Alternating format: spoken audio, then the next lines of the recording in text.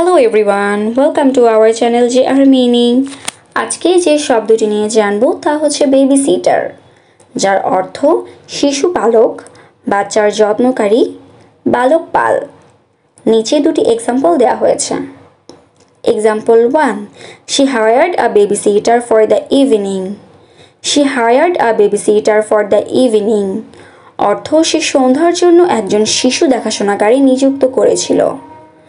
Example two the babysitter played games with the children the babysitter played games with the children অর্থ শিশু দেখাশোনাকারী শিশুদের সাথে খেলা খেলেছিল। ধন্যবাদ।